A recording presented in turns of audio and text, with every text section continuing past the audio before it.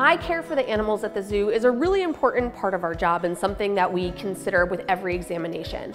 Sea lions in particular are a little bit special and predisposed to some eye health issues, so we keep an even closer eye on them than we do with some of the other animals. Chitsai is one of our adult male sea lions, and he's had cataracts for a couple years that we've been monitoring.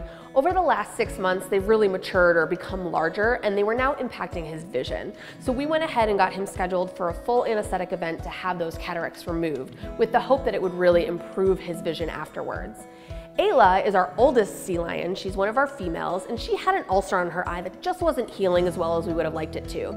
So we went ahead for her and did a procedure called a burr keratotomy, where we just took a little bit of that corneal layer off to allow better healing. Cataract removal in a sea lion is no small feat, and it takes a team of a lot of different types of experts to really try and get this done successfully. We're really lucky here at the Columbus Zoo and Aquarium that we get to work with some of amazing experts that maybe don't specialize just in zoo medicine, but specialize in other aspects of veterinary care.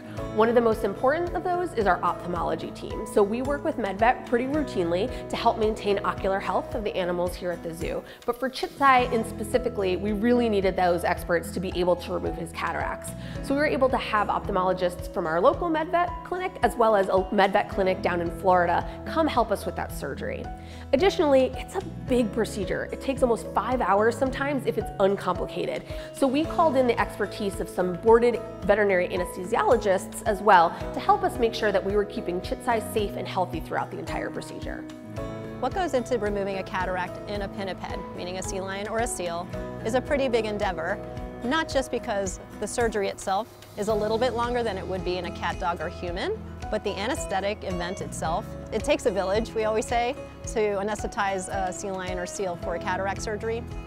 And then in taking out their cataracts, there's a machine that we use in dogs, cats, and humans, but because their lenses are the size of a pearl onion and as hard as a marble, the machine isn't strong enough. So we actually have to take the whole entire lens out and we are unable to put an implant in like we would in the rest of the species that we do. But in fact, their corneas have a specialized flattened area where they're able to focus on land and in shallow water. So they don't really need a lens once it's removed to be able to focus and function after surgery.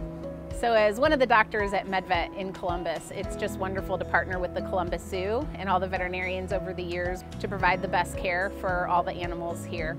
Recently, I was able to work with one of my mentors, Carmen Colitz, who's one of the world experts in marine animal health uh, for ophthalmology and providing some expert surgery for the sea lions here.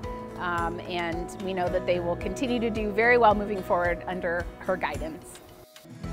Ayla's procedure was not quite as in-depth and complicated as Chitsai's, but still requires the same amount of care and attention.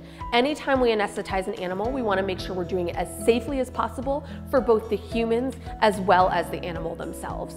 So our anesthesiologists were already here. We figured we might as well utilize their expertise for Ayla as well. Her procedure was a little bit shorter, so we used a slightly different drug combination and we didn't need to do as many intensive things as we did with Chitsai. So thankfully, within about an hour, she was done with her anesthesia and waking up.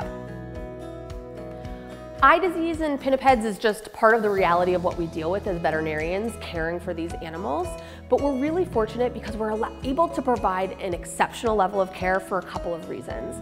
The first is the intense amount of work and dedication that our trainers put into building relationships with these animals, building trust, and allowing us to do certain behaviors and exams that allow us to catch problems early and monitor appropriately. So by training an animal to take eye drops, to let us look at their eye, to help participate in anesthetic procedures, all of those are vital to providing optimal ocular health. The other really important part is that it takes a village. So we here at the zoo help and care for these animals on a day-to-day -day basis, but being able to rely and count on other experts in the field of ophthalmology and anesthesia allow us to provide the safest, best level of care that we possibly can to get a great outcome for these animals while they live here with us.